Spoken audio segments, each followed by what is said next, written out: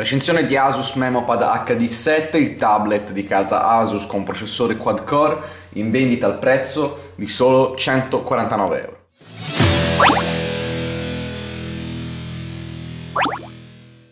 Un saluto a voi tutti amici di AndroidWorld.it, oggi recensiamo Asus Memopad HD7, tablet da 7 pollici di casa Asus eh, che si affianca al Nexus 7 già in commercio e anche ovviamente al Nexus 7 futuro e va a sostituire il MemoPad 7 che in realtà ha avuto anche una vita abbastanza breve.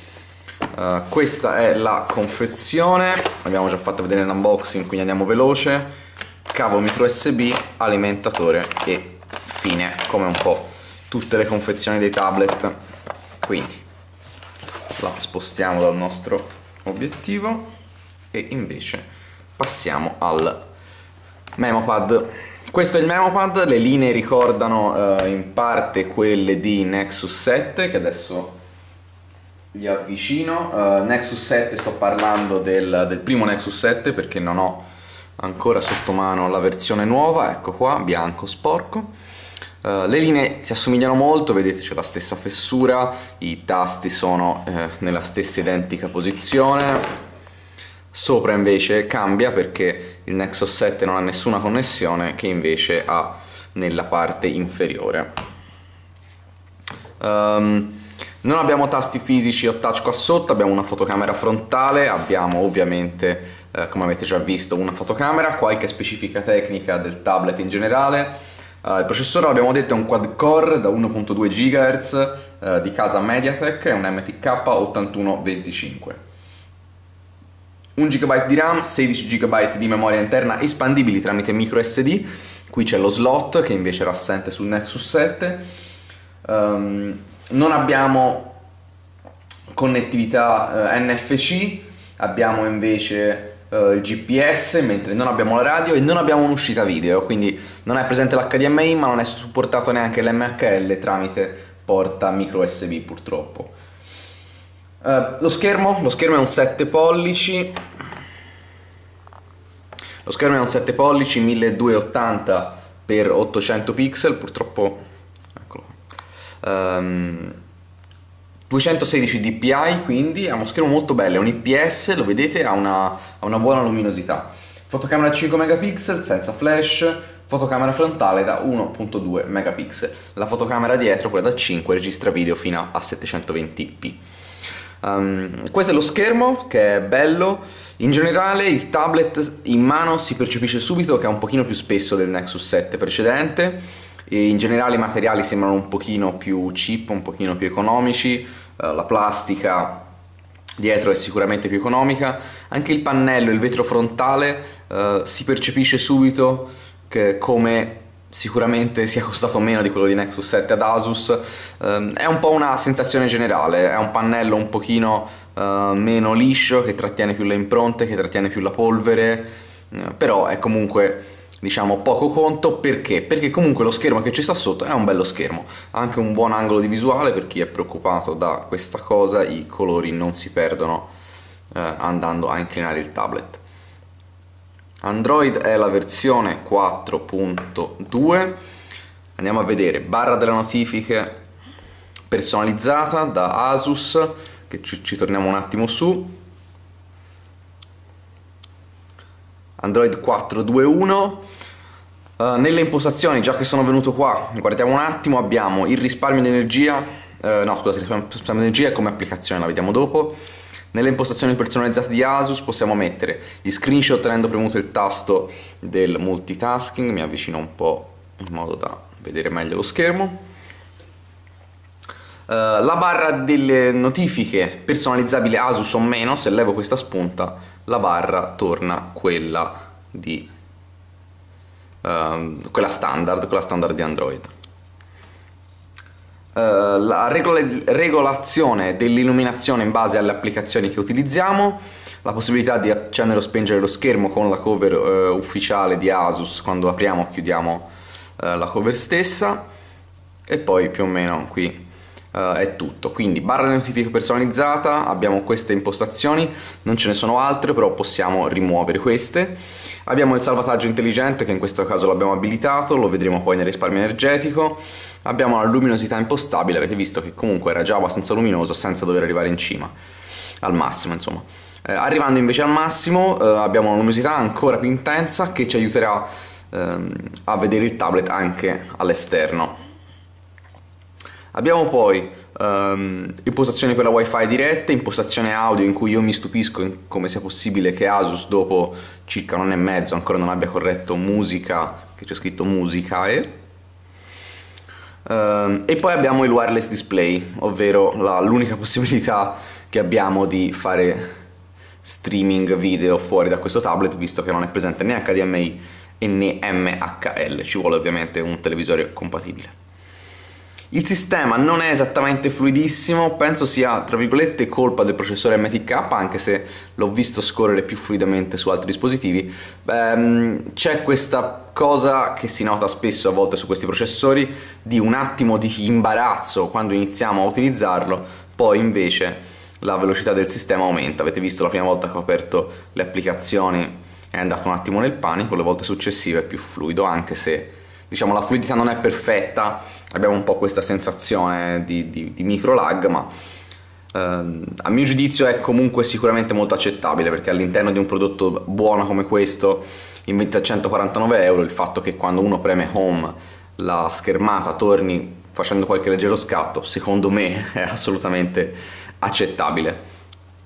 Le applicazioni sono veramente tante, eh, installate da Asus, abbiamo sia Chrome che il browser, andiamo a testare Chrome, ok abbiamo già Android World ma io voglio stressare un po' il tablet, questa è la tastiera personalizzata di Asus, eh, premendo qua ci si accorge che non è presente la vibrazione quindi non c'è un feedback di vibrazione quando premiamo i tasti.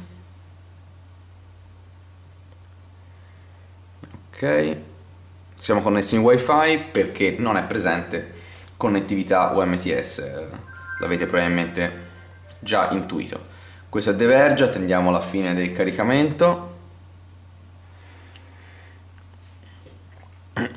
Sito per chi lo conosce molto pesante, lo utilizziamo da tempo per fare i nostri test perché specialmente da quando il nostro sito ha finalmente una versione mobile possiamo almeno andare a stressare un po' quest'altro sito io meno il tablet grazie a quest'altro sito non ha ancora finito di caricare sta mettendo un pochino ok. Un attimo per riadattare il testo ma poi comunque tutto bene. Questo sito mette un po' in crisi tutti e il quad core di Mediatek si comporta bene eh? avete visto che se io ovviamente voglio zoomare lo zoom lo fa. Se faccio il doppio tap si avvicina non è presente il riadattamento alla colonna Diciamo che la navigazione è buona, eh, questo sito mette un po' in crisi tutti, eh, questo Mediatek si comporta bene, soprattutto ci sono anche qui, un po' come nella home, ci sono dei micro lag che a mio parere sono assolutamente tollerabili, eh, soprattutto in funzione del tipo di prodotto che siamo andati ad acquistare. Eccolo qua. Qui abbiamo il multitasking dove possiamo chiudere le applicazioni, mentre invece qui abbiamo um, le, diciamo, queste pop-up. Se io per esempio voglio sapere che tempo fa, ma allo stesso tempo mi viene un dubbio perché dovevo fare giusto un conto, posso fare così e anche qui fare il mio bel conto.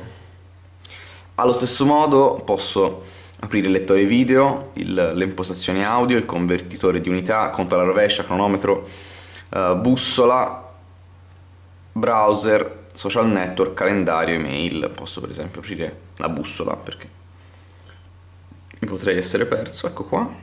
Nord, sì, torna abbastanza. Ok.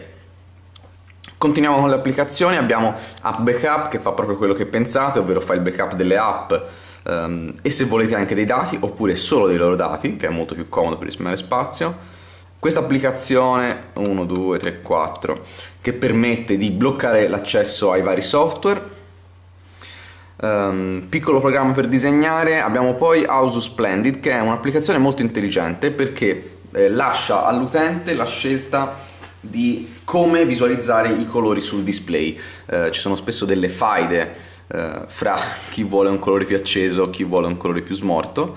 In questo caso abbiamo questo bellissimo tasto che fa la magia. Probabilmente lo vedete un pochino anche voi, tramite la videocamera sicuramente si perde.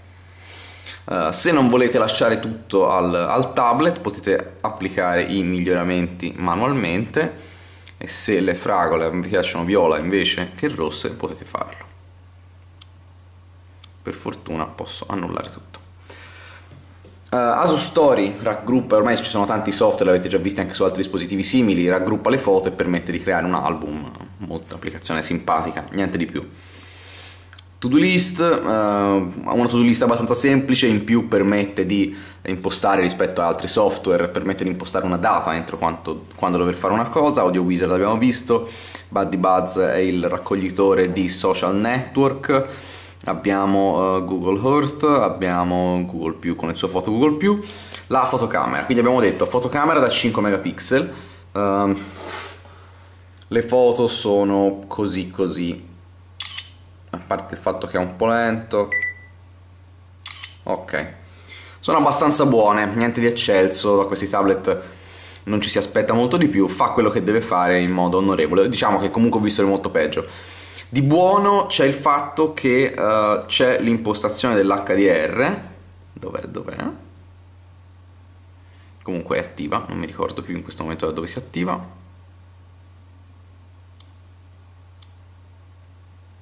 Non so perché... Ah, ecco qua. Eccola qua, impostazione HDR, io lo lascio attiva perché migliora nettamente le foto, un po' in tutte le condizioni di luce, eh, non, non essendo gli scatti di questo tablet eccelsi, l'abilitare l'HDR permette di um, ottenere degli scatti migliori di come farebbe senza, eh, portandoli a volte anche diciamo, a un po' più dell'accettabilità e qualche volta vi potrebbe anche scappare uno scatto uh, un pochino meglio degli altri. Quindi HDR, la scelta di includere l'HDR qui è promossa. Uh, diciamo che l'HDR non è una funzione che serve a migliorare le foto, però in questo caso l'avere l'HDR sempre attivo magari non creerà dei, delle immagini fedelissime, ma aiuterà a tirare fuori degli scatti un po' meglio. Um, abbiamo la libreria che in pratica raccoglie i PDF che abbiamo caricato sotto forma di libri. Abbiamo, volevo farvi vedere il risparmio energetico, eccolo qua, che permette sia di, qui abbiamo il grafico della batteria, abbiamo il salvataggio intelligente che si può semplicemente abilitare o disabilitare, l'avete visto anche dalla barra delle notifiche a questo punto possiamo scegliere se questo salvataggio deve essere ottimizzato, che è quello che migliora la batteria senza però disattivare le connessioni, il massimo, che disattiva le connessioni quando il tablet va in sospensione, o quello personalizzato, che ci permette di scegliere qualche opzione in più come eh, il tipo di luminosità da applicare in base alla singola applicazione. Se non volete perdere nessuna notifica, come per esempio ho voluto fare io, ho messo quello ottimizzato e ho lasciato fare a lui. Protezione ai genitori permette tramite il servizio web di Asus di uh, gestire il tablet anche da remoto. Abbiamo poi un'applicazione famosa, la famosa applicazione Supernote che Asus uh, ci propina ogni volta. Ha ragione, il verbo propinare in questo caso non è adatto perché l'applicazione è molto molto buona. Uh, web Storage che raccoglie ovviamente il, il servizio cloud di Asus poi abbiamo Zinio, noi abbiamo scaricato la rivista, la nostra rivista Android Magazine di agosto eh, in modo da fare una prova. Funziona abbastanza bene, anche qui c'è qualche scatto, va un attimo nel panico fra uno scorrimento e l'altro, ma si comporta comunque abbastanza bene. Eh, eccoci qua. Questo è più o meno tutto il sistema, abbiamo qua la possibilità di ordinare le applicazioni in modo differente, cosa che tra l'altro doveva essere presente in Android 4.3 e poi non lo è stato. Applicazioni, Riptide GP2 uh, eh, lo sono riuscito a farlo funzionare, dopodiché si blocca e adesso ogni volta che cerco di aprirlo non va più. Temple Run 2 invece si comporta meglio, ma mm, non ho modo, cioè è inutile che vi fa, lo faccia vedere, è sempre il solito Temple Run.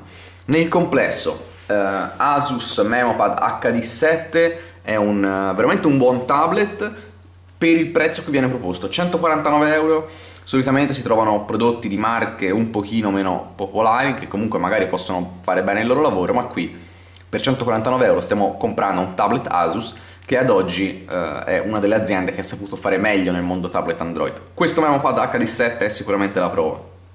Non ho avuto modo di testare il, il MemoPad 7, eh, che so non essere stato un gran successo, quindi presuppongo che questo sia un degno sostituto realizzato in tempi molto rapidi. Um, rispetto a un Nexus 7 vecchia generazione ovviamente visto che adesso calerà il suo prezzo e magari si avvicinerà un po' di più qui abbiamo una fotocamera e una memoria espandibile a scapito di, a scapito di materiali costruttivi un pochino inferiori per questa recensione di Asus MemoPad HD 7 è tutto un saluto da Emanuele Cisotti per androidworld.it